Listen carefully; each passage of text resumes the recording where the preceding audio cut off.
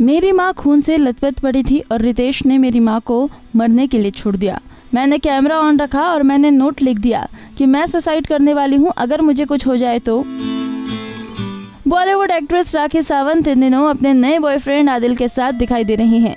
लेकिन इससे पहले राखी ने रितेश नाम के शख्स से शादी की थी। उनके शादी और ब्रेकअप भी खूब सुर्खियों में रहे थे। हाल ही में सिद्धार्थ कानन के साथ की बातचीत में राखी ने बताया कि आखिर क्यों उन्होंने अपने पति रितेश को छोड़ दिया। उन्होंने कहा कि रितेश और मेरा तीन साल का रिलेशनशिप था। लेकिन हम साथ रहे ही नहीं, वो विदेश में रहता था और जैसे ही वो मुंबई आया, हम बिग बॉस में चले गए।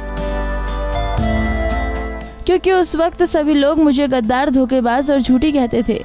उस वक्त लोग कहते थे कि इसने शादी नहीं की है, बस पब्लिसिटी के लिए ये सब कह रही है। वो आदमी मुझे धमकी देता था कि अगर शादी की फ़ोटो बाहर गई तो मैं तुम्हें डिवोर्स दे दूँगा। मेरी शादी में मेरी माँ और भाई था, लेकिन उसकी तरफ़ से कोई नहीं था। उस वक्त रितेश ने मुझे नहीं बताया था कि वो पहले से शादीशुदा है। राखी ने ये भी कहा कि उस वक्त उसे बस शादी करनी थी, इसलिए वो रितेश की बातों में आ गई। बाद में राखी ने अपने रिश्ते टूटने की वजह बताई। राखी कहती हैं कि पहले बिग बॉस में उसने मुझे अब्यूज किया। कोरोना में मैं वहाँ रही जहाँ पर एक बेड भी नहीं था। मेरी माँ कैंसर की वजह से अलग रहती थी। रितेश ने एक बार आकर भी नहीं देखा कि उसकी बीवी कैसी है। उस वक्त सात आठ महीने मेरे लिए बहुत मुश्किल रहे। राखी ने इस दौरान एक ऐसा खुलासा किया जिसे सुनकर आप भी हैरान रह जाएँगे। राखी खुद की जान लेना चाहती थी। राखी ने कहा कि मैंने कैमरा ऑन रखा और मैंने नोट लिख दिया कि मैं सुसाइड करने वाली हूँ, फ़ैन पर लटक कर। अगर मुझे कुछ हो जाए तो मेरे पति को पकड़ लेना, क्योंकि वो मुझे बार बार डिवोर्स की धमकी देता था और मुझे नहीं पता था कि वो पहले से शादीशुदा है। तीन साल मैंने ये सब सहा। उसकी माँ ने मुझे जो ज्वेलरी दी, उस पर गोल्ड का पानी चढ़ा हुआ था।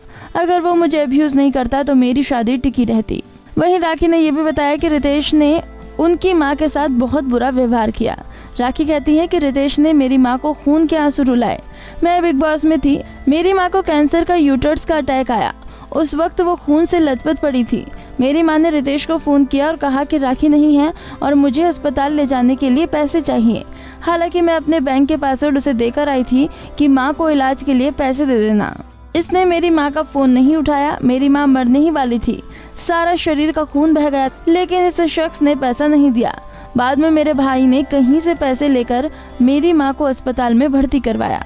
अपनी माँ के कैंसर ट्रीटमेंट की बात करते हुए राखी कहती हैं कि बिग बॉस के घर में मुझे पता चला कि मेरी माँ को कैंसर है। उसके सिर पर एक बाल नहीं था, हालाँकि उन्हें अपने बालों से बेहद प्यार था। बाहर आकर मुझे पता चला कि रितेश ने मेरी माँ के साथ ऐसा किया और उसे मरने के लिए छोड़ दिया। मैंने सलमान खान से मदद मांगी और उन्होंने ही मेरी माँ का इलाज करवाया। इंटरव्यू के दौरान ही राखी ने यह भी बताया कि वो आदिल से कैसे मिली। राखी ने कहा कि चार महीने पहले मैं आदिल से मिली थी। वो भी एक फ़ैशन शो में। मैं एक बिज़नेस मीटिंग में थी, वहाँ आदिल मुझे मिला। राखी को आदिल का बिहेवियर काफ़ी पसंद आया। आदिल ने कहा कि राखी की खूबसूरती उन्हें भाग गई। आदिल ने कहा कि वो बिना मेकअप थी, बस यही चीज़ उन्हें पसंद आई। इसी के साथ आदिल ने यह भी बताया कि दोनों ने करीब एक महीना एक दूसरे से बात की और फिर प्यार का इजहार किया। मुंबई एयरपोर्ट पर आदिल ने राखी को प्रपोज किया था और गिफ्ट में बी गिफ्ट की थी। खैर, आपको आदिल और राखी की जोड़ी कैसे लगती है, हमें कमेंट बॉक्स में बताना न भूलें।